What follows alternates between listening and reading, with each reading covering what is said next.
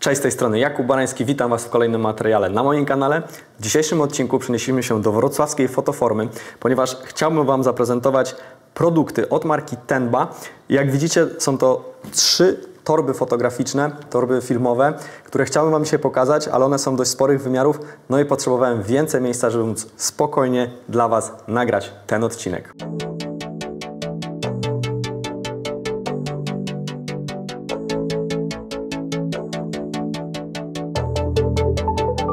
Na wstępie chciałbym podziękować oficjalnemu dystrybutorowi sprzętu tej marki, czyli Fototechnice. Torby, które chciałbym Wam dzisiaj przedstawić w dzisiejszym odcinku są to torby od marki Tenba, a konkretnie seria Signlux. Mam ze sobą trzy rodzaje tych toreb. One wszystkie mają wspólną cechę, natomiast różnią się, jeśli chodzi o sposób transportowania.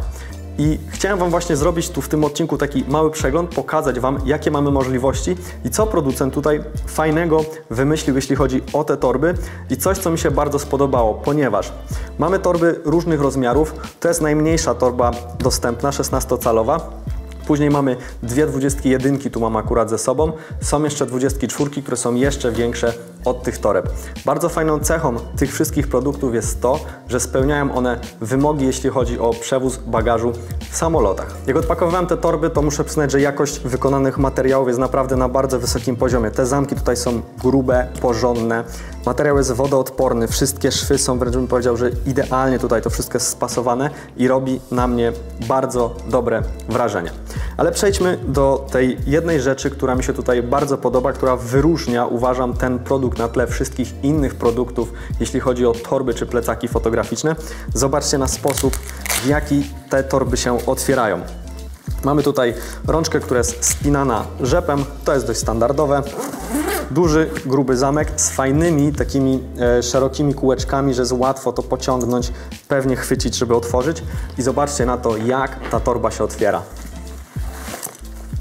Torba otwiera się w taki sposób jak dawne torby lekarskie, przynajmniej mi z tym się to skojarzyło. I co to powoduje? Dzięki temu, że w taki sposób ta torba się otwiera, mamy dostęp praktycznie do całej przestrzeni torby.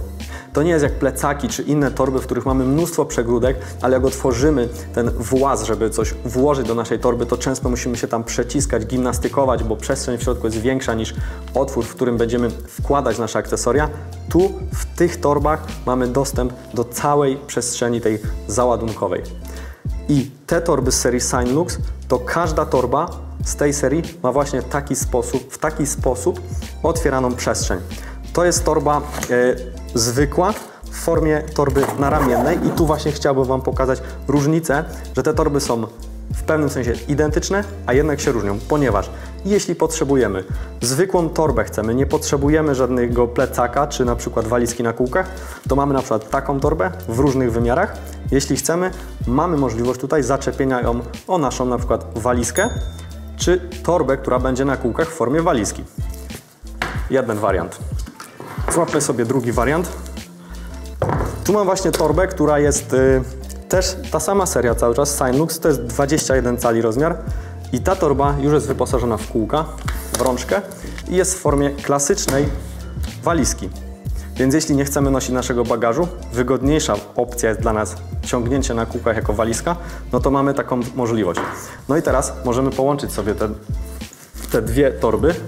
No i zobaczcie, i mamy bardzo fajny, no spróbuję to tu zaczepić, bardzo fajny zestaw do transportowania się z nim. Skoro powiedziałem, że one mają tą wspólną i tą samą cechę, no to obracam tą torbę i zobaczcie, że ta walizka, torba w formie walizki na kółkach jest dokładnie w taki sam sposób otwierana. Mega rozwiązanie. Ta torba już jest z tych większych, to jest 20, 21 cali ona ma.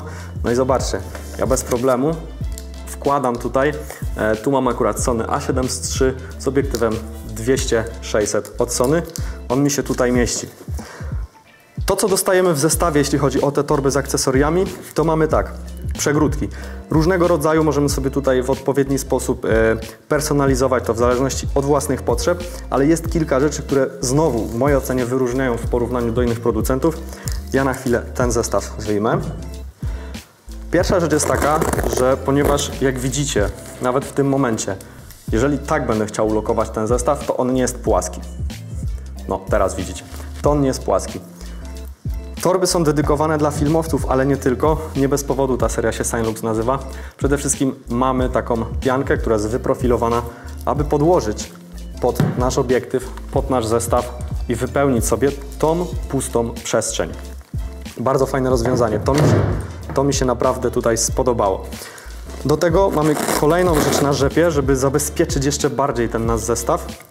Yy, wpinamy sobie taką podkładkę, ona ma pasek regulowany długość i możemy sobie to zapinać, więc opinamy jeszcze ten nasz zestaw, żeby on się czasem nie przemieszczał yy, w tej naszej torbie. Mamy po dwie takie przegródki, już je tu odpinam, żeby Wam pokazać. Klasyczne narzepy regulowane, wpinamy sobie w którym miejscu potrzebujemy, profilujemy tak jakbyśmy chcieli i jest nowa przegródka, możemy sobie przestań zorganizować, ale tutaj ten ba jeszcze nam daje w zestawie i z takim rozwiązaniem się do tej pory jeszcze nie spotkałem. Dwie przegródki niebieskie, które jak widzicie możemy w zależności od potrzeby wyprofilować sobie je i one utrzymują swój kształt. Super, naprawdę to mi się bardzo podoba. I jeszcze mamy tak, w zestawie takie oto mm, kwadratowe chyba poduszeczki, to tak nazwę. Możemy sobie włożyć w nie różne rzeczy w zależności jak chcemy przechowywać nasze akcesoria. Tak to wygląda, jedna jest szara, druga jest niebieska. I tu możemy na przykład włożyć swój dodatkowy wyświetlacz do aparatu, czy obiektyw. Zapinamy sobie te akcesoria jak w taką poduszkę i dopiero w tym wkładamy do naszej torby, bądź jeśli chcemy to transportować w czymś innym, wkładamy produkt, e, na przykład obiektyw, wyświetlacz, karty pamięci, cokolwiek byśmy nam nie przyszło do głowy, opinamy, zapinamy w taką poduszeczkę i wrzucamy sobie po prostu to do naszego innego plecaka czy innej torby. Do tego otrzymujemy jeszcze taką miękką sakiewkę. Myślę, że tutaj można spokojnie wrzucić jakąś ładowarkę, karty pamięci, yy, baterie i inne tego typu już mniejsze, drobniejsze akcesoria. Zobaczmy jeszcze jedną rzecz, yy, która tu też jest ciekawa, bo jak wiecie, nawet w klasycznych wszystkich walizkach zawsze ta rączka, która tutaj jest wyciągana, ona zabiera nam yy, pewną przestrzeń. I teraz to, co tu fajnie producent rozwiązał, to jeśli zajrzymy sobie do środka i wypniemy te wszystkie akcesoria, jak widzicie te rzepy, one tutaj bardzo mocno trzymają. Dobra, próbuję to powypinać wszystko. Jak zajrzymy sobie do środka, to widzimy poduszeczki, kolejne rzeczy do wyściełania, żeby było płasko i prowadnicę od właśnie tej rączki naszej walizki. Te akcesoria są tutaj, te wypełniacze są tak skonstruowane, że powodują to, że mamy mm, płaskie dno. Ale jeśli chcemy odzyskać część przestrzeni i wtedy oczywiście kosztem tego, że już nie będziemy mieli idealnie płaskiego dna, to możemy wszystko powypinać i mamy wtedy nierówne dno, ale za to odzyskujemy jeszcze część przestrzeni na, yy, na dole tutaj, więc odzyskując część przestrzeni kosztem tego, że nie jest płaskie dno. Tą torbę odłożymy sobie na bok i przyszedł czas jeszcze na kolejną torbę, która jest dokładnie tego samego rozmiaru, co ta w formie walizki na kółkach. Natomiast tutaj mamy wersję z formie, nie mamy tu już walizki na kółkach, natomiast mamy ramionczka i możemy, yy, jest ta torba skonstruowana w formie plecaka. Mimo, że to plecak, to torba dalej otwiera się dokładnie w taki sam sposób. Seria tych toreb nie bez powodu się nazywa Signlux, ponieważ mamy tutaj bardzo fajną i ważną cechę, że te torby są dość wysokie. Jest jeszcze, widziałem jeden wariant, ale nie mam jej tu ze sobą, który jest dużo wyższy. I teraz o co tutaj chodzi? Zobaczcie, ja teraz mam duży zestaw, bo mam duży obiektyw, ale puszkę mam małą. Filmowcy na pewno to docenią, ponieważ dużo duża część osób, duża część filmowców pracuje w takim setupie, że mają tutaj pozakładane klatki, dodatkowe dyski, e, wyświetlacz poglądowy i inne akcesoria. No i kiedy przychodzi nam jechać na zlecenie, to na miejscu klienta większość rzeczy musimy sobie na szybko zmontować, ponieważ w torbach nam cały ten zestaw w plecakach nam się nie mieści. A tutaj Zobaczcie, ja do tej torby, jeszcze raz Wam pokażę, zamykam, bez problemu. Otwieram i zobaczcie, tu bez problemu zmieściłem taką oto kamerę od Panasonica.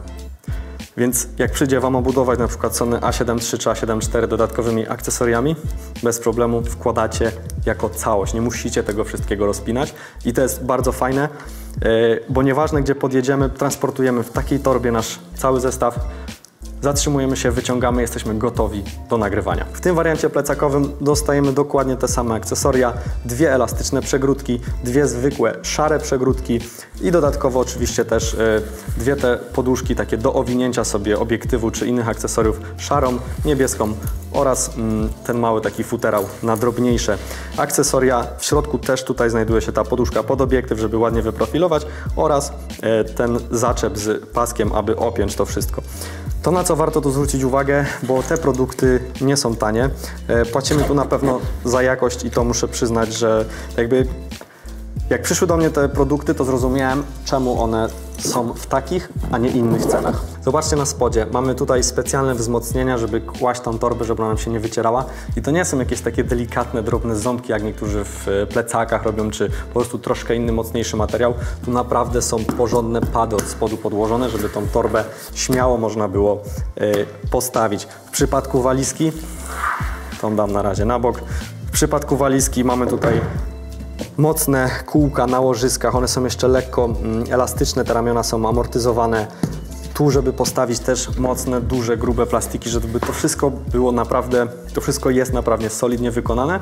Oprócz jeszcze tej głównej kieszeni Wam nie pokazałem, po bokach mamy dodatkowe, mniejsze przegródki na drobniejsze akcesoria. Tu raczej za dużo nie włożymy i tu raczej będziemy wkładać płaskie akcesoria. Z jednej strony i z drugiej strony. Tu mamy jeszcze do tego jeszcze mniejsze przegródki, natomiast tu jedyne co zmieścimy to uważam jakieś dokumenty, mm, bardzo płaskie tu i papiery, raczej, w, czy na przykład bilety lotnicze, raczej nie będę, nie byłbym w stanie tu włożyć czegoś, co jest e, dość większą, wypukłą bryłą.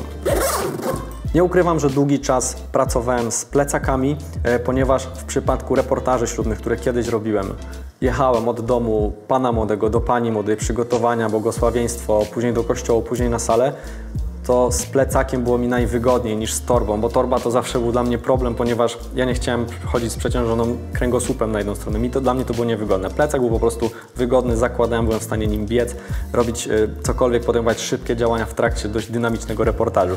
Ale ostatnio y, zacząłem się interesować torbami, dlatego że nie już robię takich pełnych reportaży ślubnych, raczej robię reportaże z eventów, które odbywają się w jednym miejscu. Ja nie muszę się przemieszczać. No i ilość sprzętu, którą czasem muszę nawieźć na salę czy na miejsce wydarzenia jest po prostu ogromna i noszenie tego wszystkiego w pojedynczych torbach mm, trochę już zaczęło mnie męczyć. I dalej powiedzmy w plecaku noszę swój główny aparat, obiektywy, natomiast często rozstawiam e, sporo lamp, czy to studyjnych, czy jakichś reporterów, czy mm, właśnie lamp reporterskich, i nie ukrywam, że właśnie taka walizka na kółkach dla mnie jest super rozwiązaniem, bo ja wtedy sobie jestem, jestem w stanie włożyć na przykład 4, 5 czy 6 lamp reporterskich, akumulatory, ładowarki dodatkowe, te wszystkie akcesoria, a statywy to już, mm, duże statywy to już wtedy są oddzielnie transportowane. I teraz w zależności od naszych potrzeb, co potrzebujemy, jak chcemy sobie, mm, jaki mamy wypracowany styl e, pracy, przemieszczania się, charakter tej pracy, to możemy wybrać sobie odpowiedni, odpowiednio, czy to będzie mm, plecak, torba na kółkach w formie walizki, czy zwykła klasyczna torba do przemieszczania. To było na tyle, jeśli chodzi o prezentację tych produktów. Jeśli macie jakieś pytania, no to zapraszam Was śmiało do sekcji komentarzy. No i co? Zostawcie koniecznie łapkę w górę, subskrypcję, dzwoneczek i widzimy się bądź słyszymy w kolejnym materiale. Trzymajcie się. Hej!